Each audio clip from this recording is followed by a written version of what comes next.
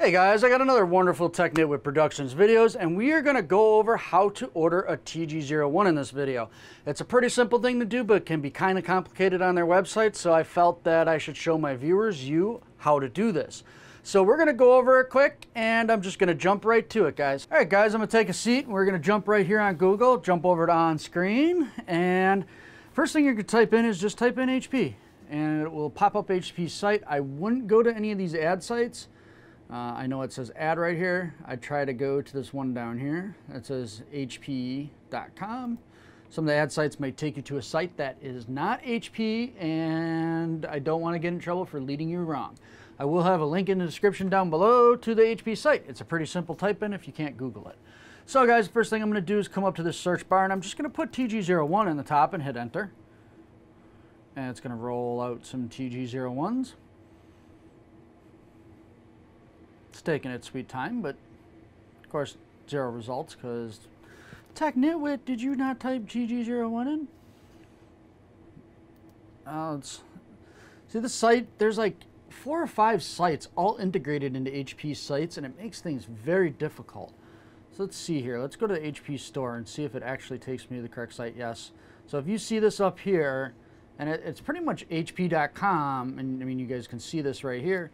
Looks like the same website but if you come up here and type in TG01 it should show us T there we go. The second time I typed it in and it just decided to do it. So I don't know why HP site is so goofy at times but if you can learn to work with it it is pretty easy to order stuff off of. Right now I would prefer over the 11th gen TGs but you can get an i5 or i7 11th gen and they're pretty good. The i9s have bombed. Intel has tried to fix them. That's not what this video is about. But uh, if you're looking at a TG and you got that, that price range, about eight, 900 bucks to spend, I would try to get over a 1660 Ti, maybe a 20 series or even a 30 series. So let's see if they have anything in that ballpark. They do got a 1650 Super. If that's what you have to settle for and that's all the money you have, go ahead and buy that Of course, try to get an i5 or a Ryzen, you know, uh, fifth gen, which if I come right here and I do customize and buy, this should have the Ryzen's available. So I went and customized and buy, and it's going to change the price right here, and it's got a ships on date, or sometimes it'll have a ship by date and a bulk date. If this computer dis disappears, it will pop back up eventually, and it's not going to take months. It's usually a couple days, um, if you search on HP's website, they pop up and pop off sometimes with a little bit different parts, a little bit of a different configuration, a different number behind them, but the TGs do pop back up. So if you come here, this is the fifth gen Ryzen 3. This is, uh, sorry, the 5000. It's really the fourth gen, but I'm not going to get into semantics with that. Uh, you can, of course, pick your cores. You can get an 8 core for 250, but the Ryzen 3, blah, blah, blah, uh, God, all these numbers are Jack and Tech Nitwit up. The Ryzen 3 5300 Gulf, pretty good processor. It would do definitely do some good gaming. Right here you could select some memory. You could just go with 2666 and get a dual kit, and then you don't have to worry that uh, HP isn't going to send you two 4x gigs like they say they're going to on their site, and a lot of people find out they just send a single 8 gig stick. With gaming in these machines, you'd really want to run dual channel. It's like a garden hose. You got one garden hose or you got two garden hoses of the same size, you get more throughput through dual garden hoses. One other thing I would talk about is if it allows you to select the 400 watt power supply, which sometimes it does, this one is not allowing me to, you can go and get like a 1660 Super and that's a, it's a pretty nice gaming machine. Um, this is going to allow you with the 400 watt power supply. So if you ordered this machine that you see right here, this thing would allow you to put up into a 2060 Super or a 3060 Ti. Anything past that, you're going to want the 500 watt power supply. I do have a video on the channel how to do that and how to order that. Uh, if you just look under my videos and look HP power supply, uh, it shows and walks shows you and walks you through on how to order that supply.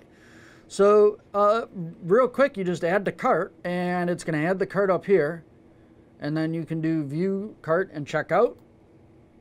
And then pretty much you're going to enter your information in and you know it will check you out. If you do get some coupon codes this is where you would enter it and you can do standard two to six business days.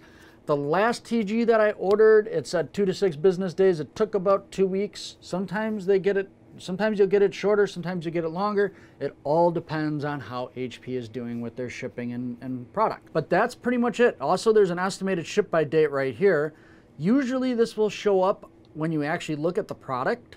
So it's not showing up here, but if I go to customize and buy, it will show right here, ships on 7, July 7th, you know, July 7th, July 22nd of 2012. So let's go and look at one of the other PCs really quick. let's just go to this TG, the TG01 1070. It's not a bad uh, computer for 879. Yeah, the date's not showing up here. Sometimes there's a date that will show up in here, but you're gonna have to go to customize and buy, and then it does the ship on date right here. This computer disappears, just be aware that they will pop up other computers in a couple days. That's really all the info you need to know about ordering of HP off of the HP site. If you're to look at Amazon or anything like that, just be aware of two things. I'm not to show it because uh, I'm showing the HP site, but be aware of the computer being refurbished. You know, if you look at this computer and it's 900 bucks on HP, 900 bucks on Walmart, or 900 bucks on Best Buy, then you go to Amazon and it's 600 bucks. Just be aware it's probably going to be a refurb, and it's probably going to be sold by somebody that's not qualified to sell from HP. So if you're going to buy off Amazon, make sure that those two things align, that it has a warranty, and that it's sold by somebody that is a licensed HP dealer. I am not going to get into how to do that, but you can Google their name and do some research and possibly find that out later.